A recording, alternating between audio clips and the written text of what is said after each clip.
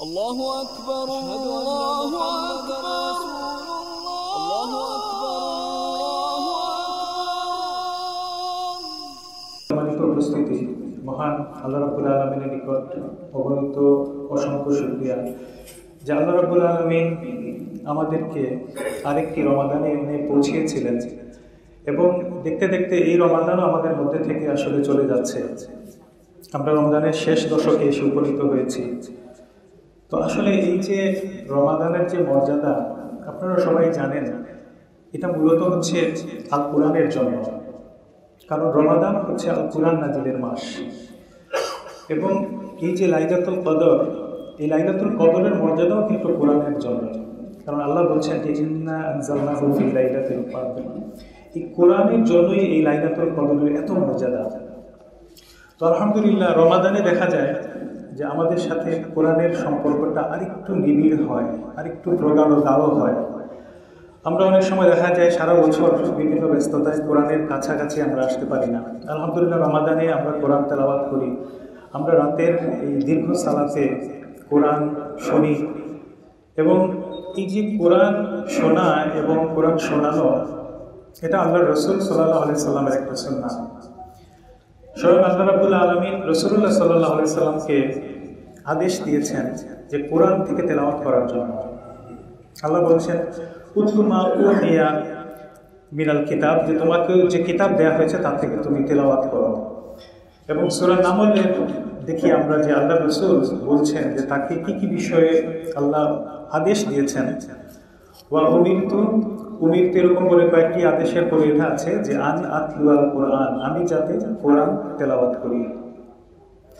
এবং এই সংক্রান্ত আপনাদেরকে সহি মুসলিম থেকে দুইটি হাদিস আমি শোনাই। আনাস ইবনু মালিক রাদিয়াল্লাহু থেকে বর্ণিত রসুল্লাহ সাল্লাহ আলি সাল্লাম উবাই ইবনু কাব রাদিয়াল্লাহুকে লক্ষ্য করে বললেন, ইন্নাল্লাহ আন আলাইকা। মহান আল্লাহ আমাকে তোমার সামনে কোরআন পড়ে শোনাতে আদেশ করেছেন। একথা শুনে উবাই ইবনে কাব বিস্মিত হয়ে জিজ্ঞেস করলেন আল্লাহ তিনি বললেন যে আল্লাহ কি আপনার কাছে আমার নাম উল্লেখ করেছেন?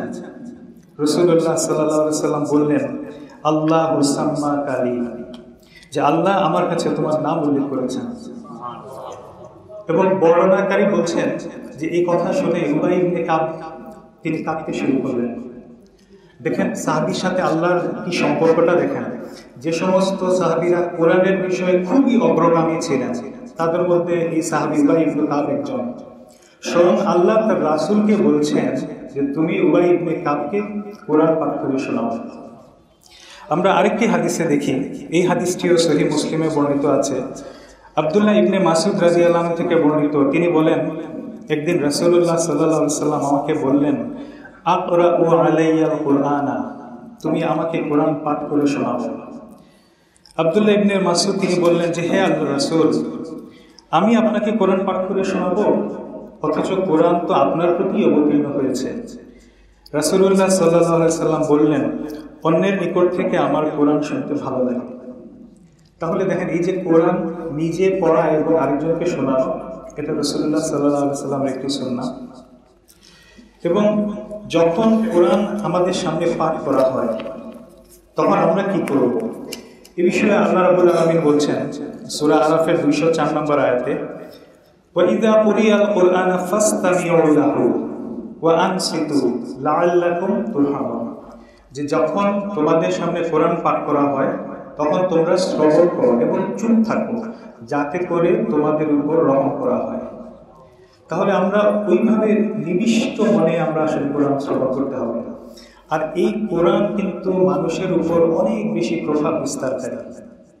যে কারণে কাফিররা কিন্তু কোরআন শুনতে চাইতো না। যখন তাদের সামনে কোরআন পাঠ করা হতো, তখন তারা কানের মধ্যে আঙ্গুল দিয়ে দিত এবং তারা কিন্তু কোরআন কাউকে শুনতে দিতেও চাইতো না। এই যে একটু আগে ইমাম সাহেব তেলাওয়াত করলেন সুরা ফুসিলাতের আয়াতে, কাফিররা কি বলতো? ওয়াকাল আল্লাযিনা কাফারু, লা তাসমাউ লিহাদাল কোরআন। তারা বলতো যে, তোমরা এই কোরআন শোনো না, শ্রবণ করো না। বরং কি করো? এবং তোমরা এর সময় গন্ডগোল করো যাতে তোমরা বিজয়ী হতে পারো। তাহলে দেখেন, কোরআন কিন্তু আসলে ওইভাবে নিবিষ্ট মনে শ্রবণ করতে হবে, ওইভাবে পাঠ করতে হবে। কোরআন মানুষের উপর অনেক বেশি প্রভাব বিস্তার বিস্তারকারী। আমাদের আসলে পরিপূর্ণ সেই প্রভাবটা পড়ে না। তার একটা কারণ হচ্ছে আমরা অনেকে কোরআনকে অনুধাবন করতে পারি না। কোরআনকে আমরা বুঝতে পারি না।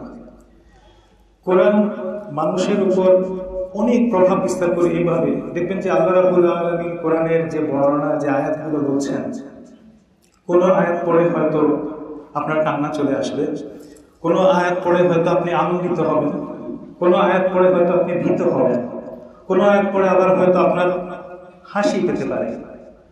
তো এই জিনিসটা আমরা আসলে মিস করে যাই এই কারণে যে আমরা কোরআন কোনো তর্ক করি না, কোরআন বুঝি না। আমি একটা এক্সাম্পল হিসাবে বলি, এই আয়াতটা পড়লে এটা আমার নিজের কথা বলছি, আমার খুব হাসি আসে। সুরা ইসরা উনপঞ্চাশ নম্বর আয়াতে কাফিররা বলছে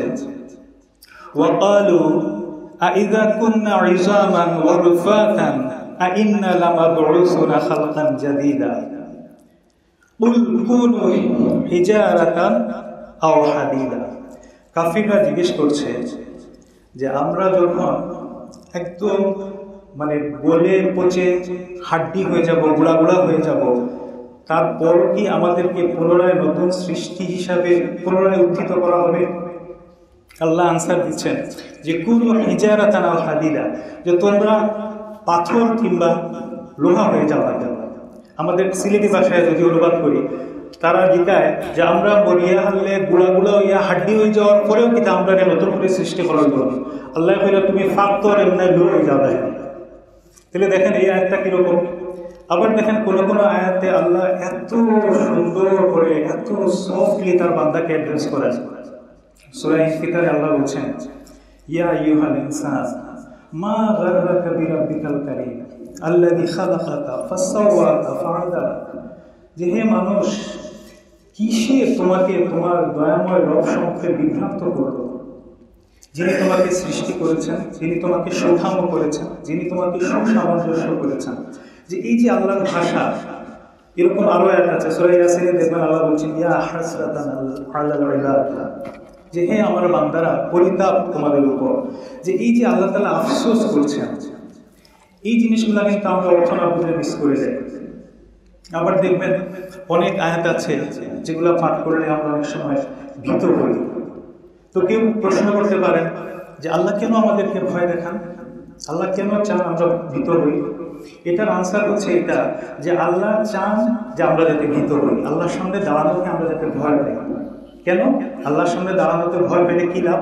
আল্লাহ বলছেন, ওয়ালিমান খাফা মাকাম রাব্বিহি জান্নাতান।